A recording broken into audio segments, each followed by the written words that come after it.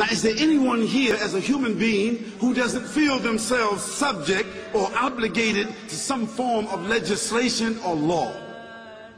Because if they're not, then I say get on top of this building and just jump off and see if you can defy or deny the law of gravity. Hold your breath for about 10 minutes and see if you can deny or defy the human capacity and need for oxygen. You cannot. Something even more simple than that.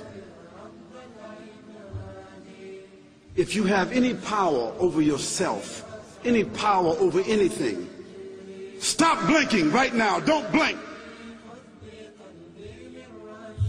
Just don't blink.